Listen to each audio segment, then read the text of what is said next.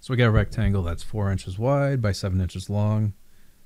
So just go ahead and get some, well, not scale. All right. So, and then we uh, add the same amount. So we'll just make that X. So add X to both sides. And when we do that, the area is increased by 26 inches.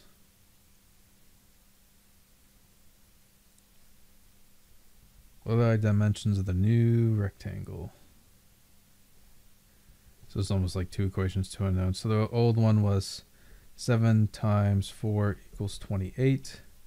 And then when we do um, 4, well, I'll do x plus 4. x plus 4 times x plus 7. Uh, we get 28 plus 26.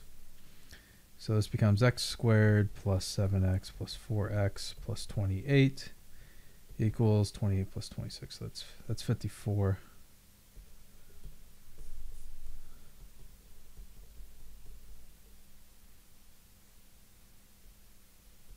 Minus 26 equals 0. This breaks down to be um, x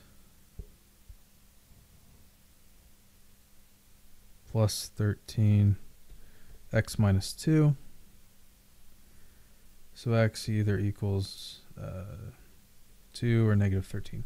But we need to look at this. So it looks like um, negative 13.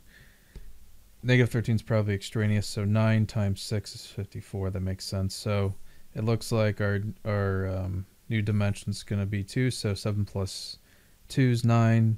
6, uh, 4 plus 2 is 6. So we our new dimensions are going to be uh, 9 inches and 6 inches.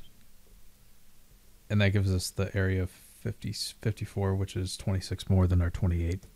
All right. I hope that helped you out. Thanks for watching. You have a great day.